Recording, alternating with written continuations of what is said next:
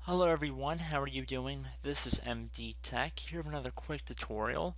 Today I'm going to show you guys how to hopefully resolve this write errors you might be getting with external media, um, particularly flash drives, um, USB sticks, and whatnot. So if you're receiving this error when you're trying to copy files to the flash disk, or perhaps you are trying to reformat or modify the flash drive in some way and you're receiving a write protected error. On this brief tutorial we'll walk you guys through how to hopefully resolve it. So pretty straightforward. We're going to start by opening up our start menu and we're going to type in regedit.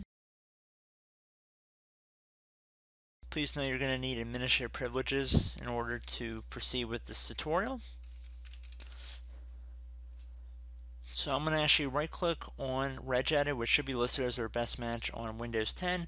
Earlier versions of Windows should not say run command underneath. Just keep that in mind. So I'm going to right click on it, and then I'm going to left click on run as administrator. If you receive a user account control window, select yes. So now that we are in the registry editor, we're going to navigate using the following path. We're going to start by heading over to HKey local machine and left clicking on the little arrow besides it on the left. Now that we've done that, we're going to left click on the little arrow next to system.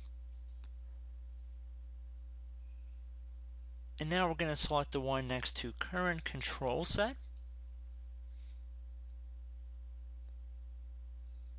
Then we're going to select the one next to control. Okay, so now that we've expanded the control folder, what we want to do is right click on the control folder and then we're going to left click on new and then select key.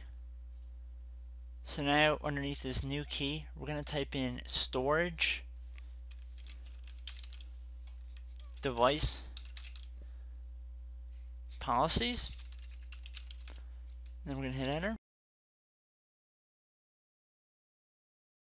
So now that we are underneath the storage device policies key, on the right panel, we're going to right click in some blank space over here. I'm going to select new, and then I'm going to select dword 32-bit value here.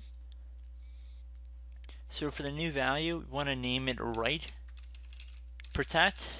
So write protect, W-R-I-T-E, protect, P-R-O-T-E-C-T, all one word.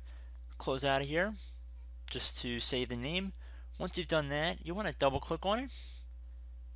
You want to select the, for value data, you want to make sure it's set to 0. If it's set to 1, you want to change it to 0. And then select OK.